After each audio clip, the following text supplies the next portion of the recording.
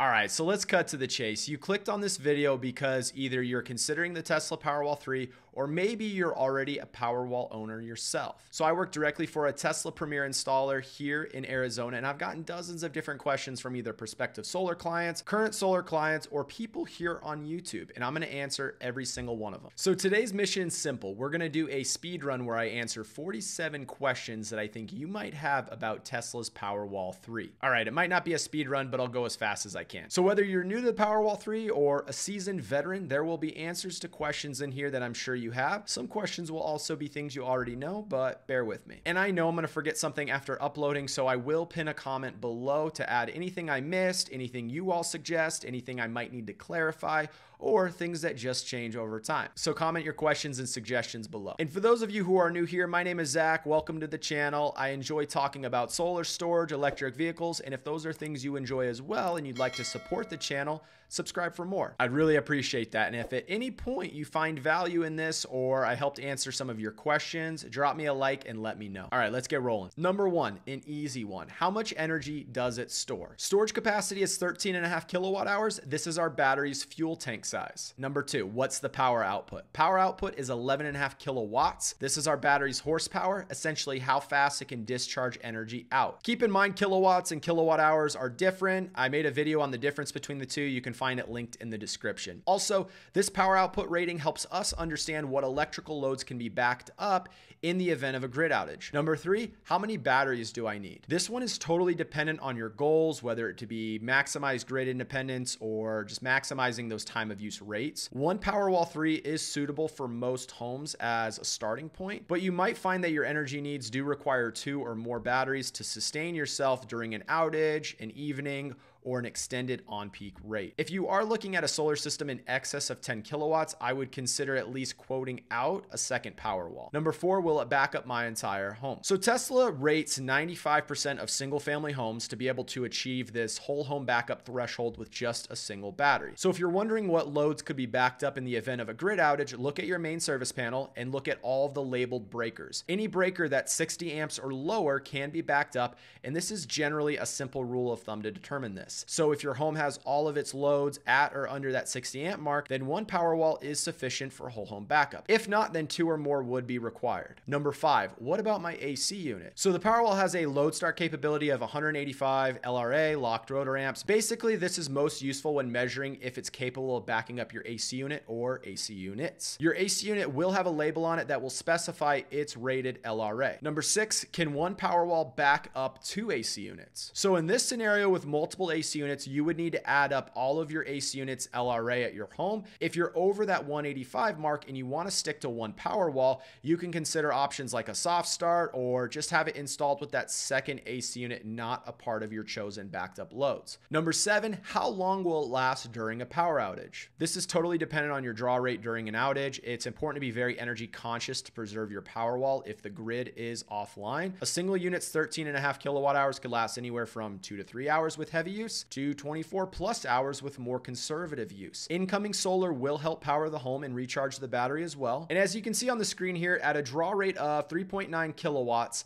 the 13.5 kilowatt hour capacity could sustain me for about three and a half hours. Now, this is with the AC turned on. If we were in a true grid outage, I would probably turn off the AC unit and I would get my demand under that one kilowatt mark. If I was at one kilowatt, then the 13 and a half kilowatt hours would then last me for 13 and a half hours. So you just take the capacity, divide it by the draw rate, and that gives you the amount of hours the battery could sustain you. An analogy I use is if I were stranded on an island and I had a fully charged cell phone, I wouldn't waste any battery life watching YouTube videos, streaming music, or anything that demanded a lot of energy. I'd preserve this energy for critical needs only. Number eight, when an outage occurs, what happens? How will I know? So when the grid goes offline, the way you find out is you're gonna get a notification that's sent to the app immediately. What happened during this time is the Powerwall will sense this grid outage and automatically transfer the home off grid. And within milliseconds, it's going to restore energy into the home. It's so instantaneous that you're not going to notice it. Maybe a light will flicker, but your Wi Fi will stay online, clocks won't need reset, none of that. It's really seamless. Number nine, am I able to monitor my system performance day to day? So, all data can be found in the Tesla Energy app, which is an amazing app. There are several cool third party apps that can add even more customization and have a little bit more granular data like Net Zero. If you already have a Powerwall system, you should check out their app. But But unfortunately, with Tesla, there is no panel by panel monitoring on your solar array like you might find with Enphase or SolarEdge. In my two year update of my Powerwall system, I did find that the monitoring was over 99% accurate when I compared my data within the app to my utility readings. Number 10, we don't ever get power outages. Do we even need a battery? To me, the backup feature is really a cherry on top. The real perk of a storage system like the Powerwall is the ability for the battery to store your solar energy for later, either during nighttime or on peak. Obviously, your utility provider's rates will determine if this even makes financial sense. If you do have one to one net metering, a battery will only be helpful to you for grid outages. Number 11, how many panels can I install with a single Powerwall 3? With this size inverter, 11.5 kilowatts, Tesla allows up to 20 kilowatts DC of solar power on a single unit. For reference, with a 400 watt solar panel, you could technically support up to 50 panels. Number 12, what inverter inverter does it use? So the Powerwall has an integrated hybrid inverter inside the housing of the entire assembly. Hybrid meaning it serves as both the inverter for the solar panels, but also the inverter for the battery. Now, as I stated, the inverter is rated for 11.5 kilowatts AC, which is directly correlated to that 11.5 kilowatt output. Number 13, does this mean it's a string inverter? Now, while the system is using a central string inverter, they do have six MPPTs or maximum power point trackers, which allows for system zoning, or that's at least what I call it. So these MPPTs, they help reduce the risk of one shaded panel causing performance issue. So 2 to 12 panels can be used on a single MPPT, and these are designed for panels that are either in shaded areas or panels that are on their own roof section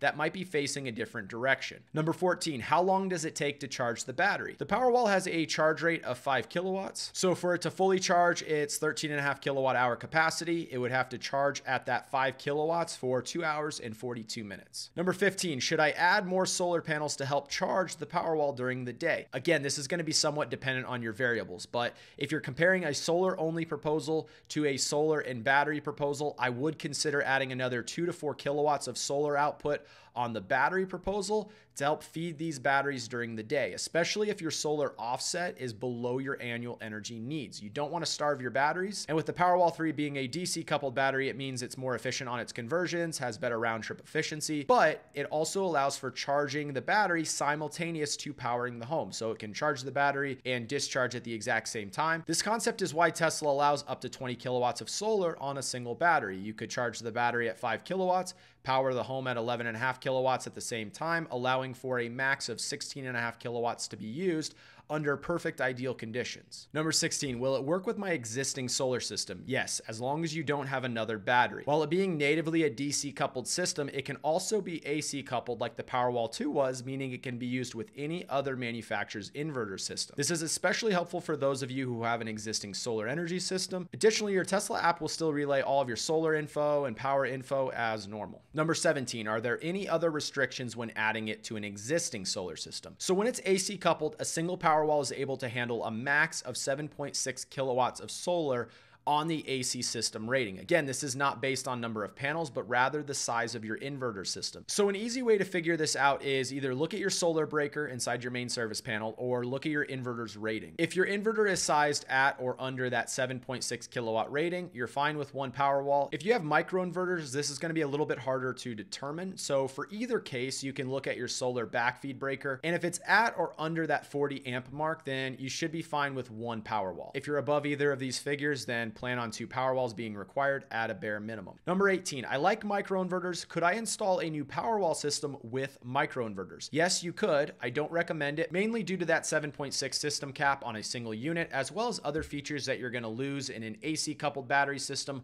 when you do compare it to a DC coupled battery system. Personally, I'd stay in one ecosystem for your battery and your inverter type. Number 19, how do you install the system? So when it's DC coupled using Tesla's integrated inverter, you do have the option to install the system with Tesla's backup switch rather the gateway. The catch is you need to be in a utility that's approved the backup switch and you have to be installing the system as whole home backup. Additionally, you cannot be installing it with a non-Tesla inverter at the time of this video. And as you can see on the screen here, the backup switch is essentially a collar that goes between your meter and your meter socket that acts as a transfer switch to disconnect your home from the grid when a power outage is detected. If it's allowed, it's an easier way to install the system. Number 20, what if I don't meet meet these three criteria. How do I get it installed? If your utility is not backup switch approved, you're doing partial home backup, or you're doing an AC coupled system design with a third party inverter, you will have to install the system in the traditional way with the gateway and a dedicated backed up loads panel. If you're looking at the Powerwall 3 as a retrofit add on and you can do whole home backup and your utility is backup switch approved, it might be worth considering having your entire system restrung with Tesla system and then having that Powerwall 3 replace your current inverter system. But that really does depend on your situation. Number 21, I heard the Gateway 2 is gone. Can the Gateway 3 be AC coupled? Yes, the Gateway 3 now can be used in an AC coupled design, but a remote meter would need to be added for the solar monitoring. Number 22, how much does it cost to have it installed? It is a broad range, unfortunately, but expect the installed cost to range from the sub $10,000 mark all the way upwards to $17,000 or more, really depending on a lot of variables the scope of the project. Also know that battery add-ons are going to be more expensive than new installations with solar. Number 23, my car's battery is so much bigger. Can I just use my Tesla vehicle's battery to replace the need for a Powerwall? So this one is an extremely popular question that gets misunderstood. So Tesla has a feature called PowerShare, which this is their version of bidirectional vehicle to home charging. As of this time, it's pretty limited and can only be used with the Cybertruck. What's important to know is without a Powerwall system to enable this feature alone, down hardware does need to be installed, such as a gateway. However, an installation with existing Powerwall equipment will also be compatible with this PowerShare feature. Tesla has yet to release it to any of their vehicles other than the Cybertruck, so it's definitely a feature that's more on the horizon that many are excited for, just like myself. At this point, it's designed for adding more storage capacity for grid outages only. It is not designed to replace or add more storage capacity for daily use, so it will not help reduce your utility consumption like a Powerwall is designed to do. I see it as a very nice complement to the Powerwall ecosystem, but not as a Powerwall replacement. Regardless, as of this moment, it's half baked. Number 24, does it work with my other Powerwall system? As of this moment, no. So if you have an existing Powerwall, Powerwall 2, Powerwall Plus, the Powerwall 3 will not integrate with these batteries, but that is expected to change soon with a software update. Depending on when you're watching this video, check the pin comment below to see if that's changed. Number 25, will it work with other third-party battery systems? No, it will not work directly with any other battery solution, but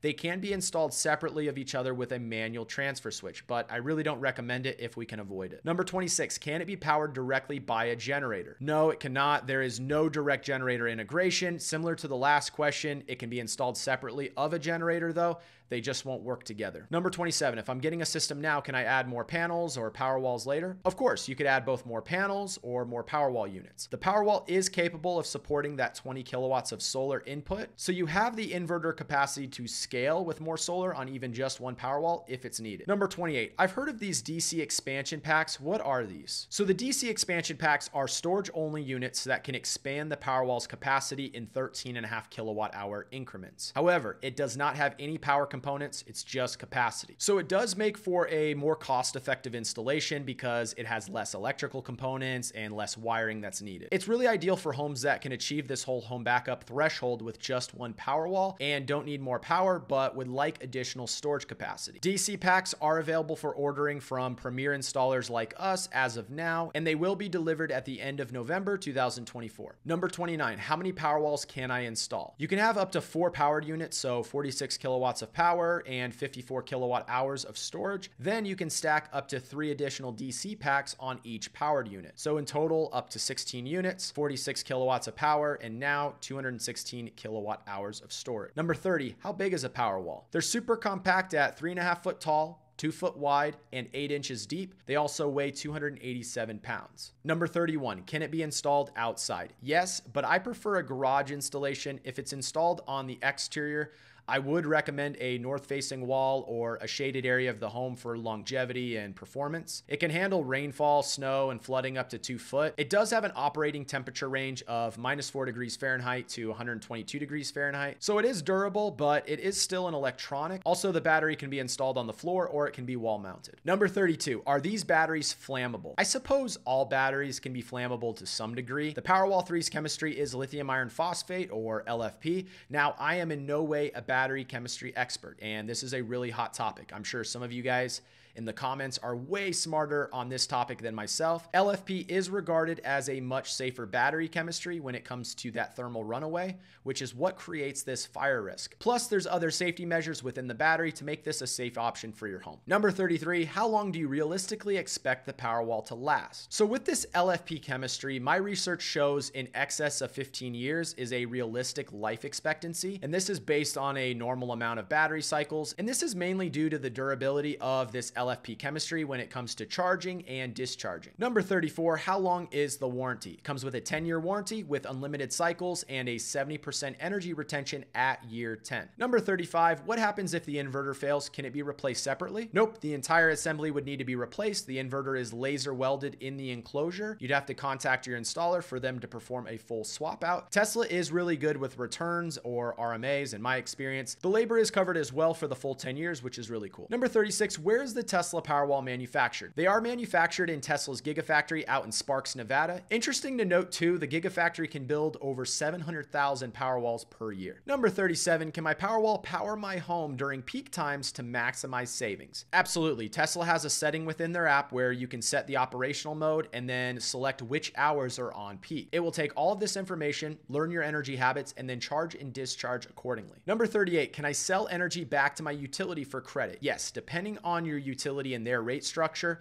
You can discharge the battery to the grid during times of day or times of year where they pay more for your energy. If your utility allows VPP or virtual power plant, then you can enroll in that directly on the app to further take advantage of these features. Number 39, can I charge my EV at night directly from my Powerwall? Of course you can, but you have to understand that the Powerwall is just a fraction of the capacity of your EV. So in most cases, your Powerwall would be fully discharged within an hour of charging and only provide about 15% state of charge to your vehicle. The energy would be better used during on peak or general home use as it will provide energy during a longer period of time. Charging direct from solar or from the utility is usually recommended. 40. If I have a partial home backup and I'm on grid, Will my Powerwalls provide energy to all of my home's electrical loads? Yes, even with partial home backup, your Powerwall will still provide energy to all of the loads in your home. Only in a grid down scenario will you see that partial element come into play where only your backed up loads will be energized. So the 99% of the time when you're on grid, whether you have partial or whole home backup, your experience is identical. Number 41, I just want to get rid of my utility company. Can it be installed off grid? So it's not designed for off grid applications. It's a grid tied solution. There are better DIY type options for off grid scenarios than this product. Plus, if you're already living in a grid tied residence,